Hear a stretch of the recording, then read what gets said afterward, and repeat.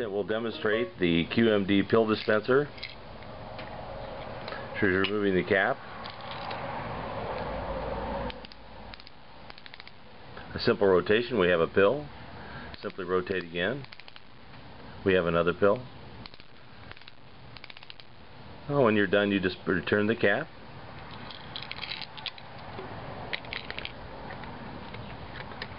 And place in your storage cabinet. For a variety of pill sizes, this is all you need.